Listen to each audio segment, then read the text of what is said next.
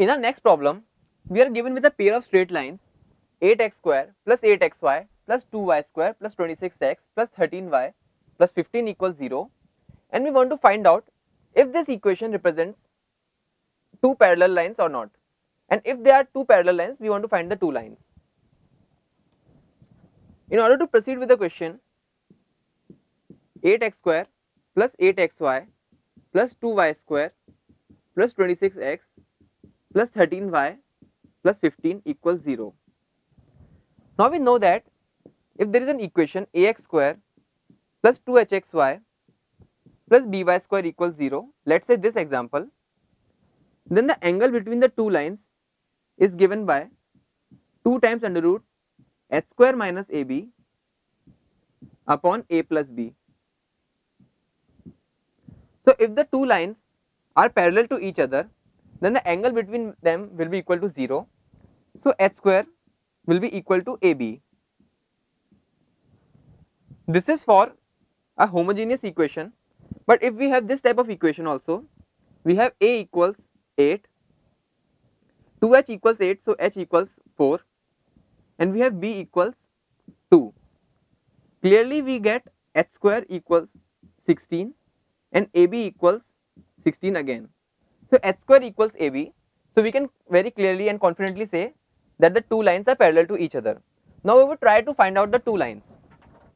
We write the equation again 8x square plus 8xy plus 2y square plus 26x plus 13y plus 15 equals 0.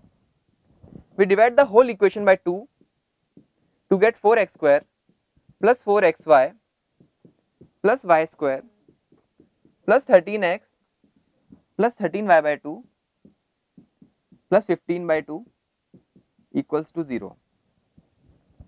In order to solve this type of big equation,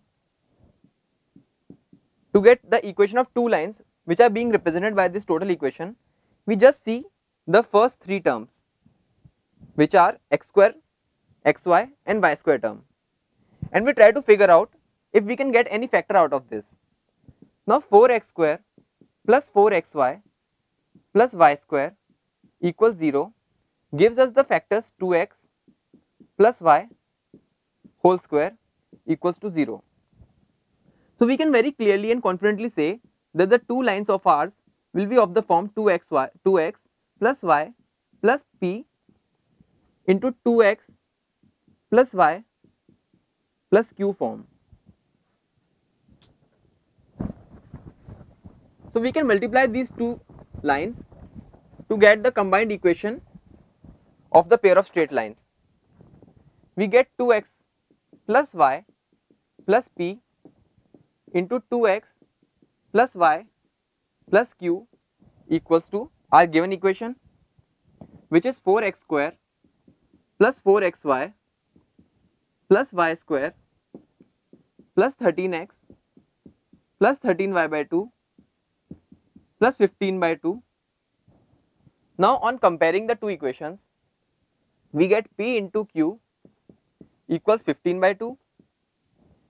The coefficient of x as 2 times P plus Q equals 13. So we get PQ is equal to 15 by 2 and P plus Q equals 13 by 2. On solving these two equations, we get P equals 5 and 3 by 2 and q as 3 by 2 comma 5. So our two lines can be 2x plus y plus 5 equals 0 and 2x plus y plus 3 by 2 equals 0 either this can represent our pair or second possibility can be 2x plus y plus 3 by 2 and 2x plus y plus 5 equals 0 which is our final answer.